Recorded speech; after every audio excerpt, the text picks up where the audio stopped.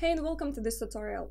In this video I'm showing you how to create a custom header with the help of JetBlocks plugin. To create a header, I will need the widgets that go with JetBlocks plugin.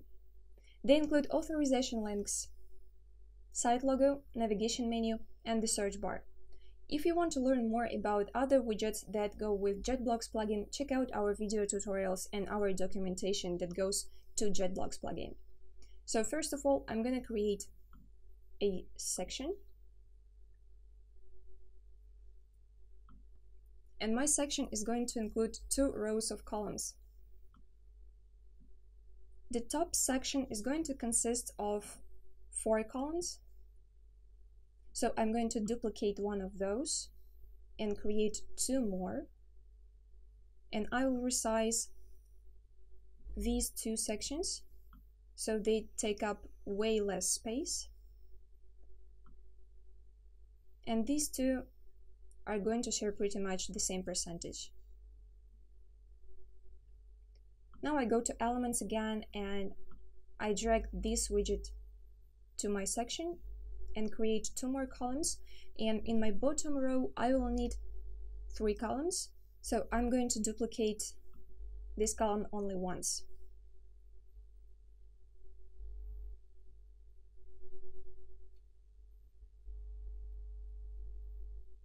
And here we go, I've got my layout ready and I can start filling it up with the widgets.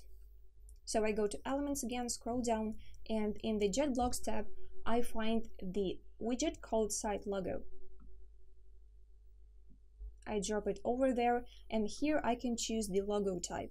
It can be either text or image or you can also use both text and image for your site logo. Now I'm going to use an image and you can choose a logo image and a written logo image, which should be the SVG file. Okay, so I choose the PNG image for the logo image and the SVG file for the written logo image. So this logo can be resizable and will not lose the quality when viewed on larger screens. The next widget I'm going to use for my custom header is authorization links. So I'm just gonna drop it onto this column and I will customize the links that will allow the user to log in or create an account on my website. Here you can see the list of all the available links, which include the login link, logout link, register link, and registered link. And here you can tweak the order of the links in this widget. So let's start with the login link. You can enable or disable this link. You can also add URL and you can add an icon, but in this case, I'm gonna switch the icon off. And login prefix is also available, but I'm gonna go with no login prefix this time. And then let's go to the register link and it will be enabled. And I'll remove the icon and the prefix as well. So here we go, now let's go to the style tab and tweak the alignment so it's aligned to the right. And then in the styles, I'm going to change the color of the links on normal and on hover.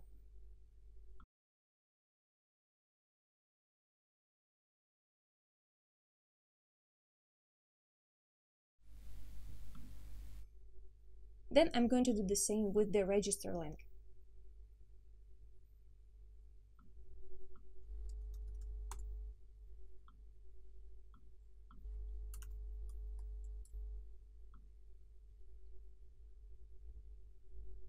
So I'm done with the authorization links. So now they are kind of gray and when I hover over, they change the color to blue.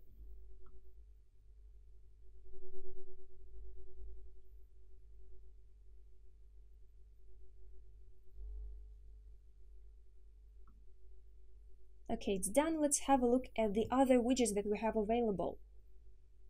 And we've also got the search widget and the navigation menu widget. Let's grab the navigation menu widget and drop it right there. And here we have the menu. Here you can choose the menu that is going to be used in this module. You can choose the type of the menu, vertical or horizontal. I'm going with horizontal. You can choose the icon that's going to be used when you have a, a drop-down menu and when you display the sub-items. So I will align this menu to the center and enable the mobile trigger. Then in the Style tab, you can tweak the style and the design of the top-level items that are these links and the sub-level items that appear in the drop-down menu.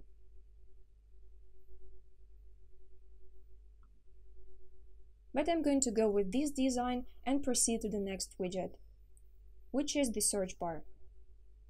So I'm dragging the search bar on this column and as you can see I already have both the button that enables the search and the field where I can input my search query.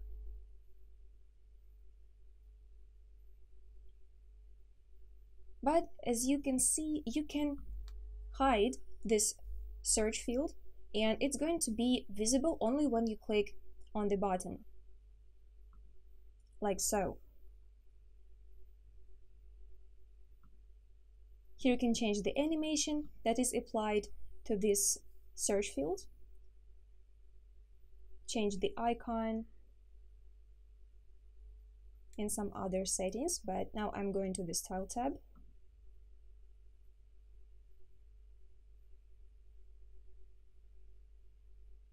Here you see a lot of settings as well. Here you can tweak the look of the form, the pop-up box, the pop-up trigger, and the close button. Let's start with the trigger. This little button is a trigger itself and I'll align it to the right. Change the background color to white and the text color to gray. Then on hover, it's going to stay white, but it will become but the icon will become blue, like so.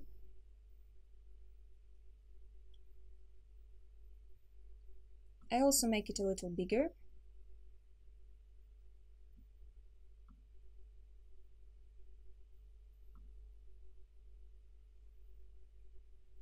And here in the pop-up box, I can tweak the width of the search field. So I can make it more narrow or more wide.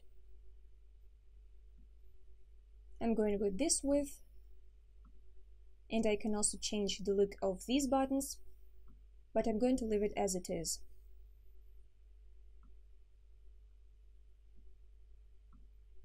So we're almost done with our custom header.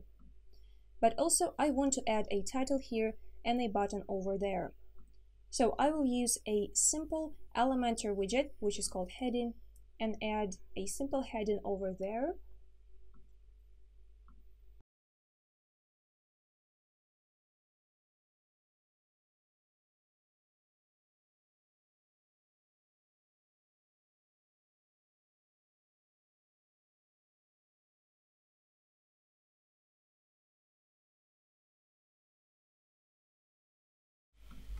The color will also be gray and I'll make it a little lighter.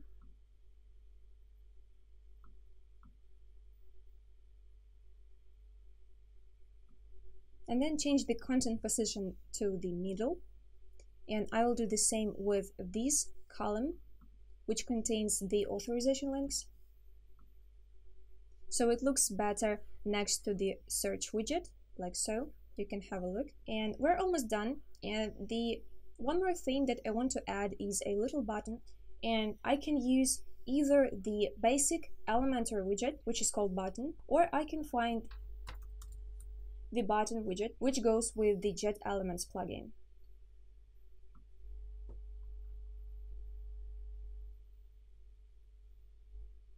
Here we go, I'll remove the icon and I will disable the icons at all for this button.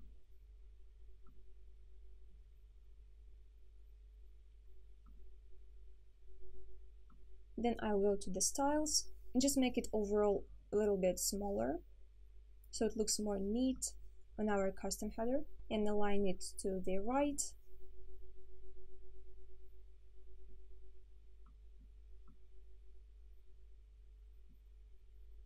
Then I want to change the background color of this button.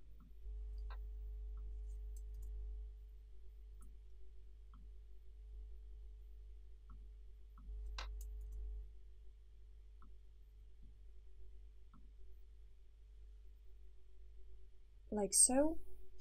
And the text typography as well. So let this just be uppercase and the size is going to be 13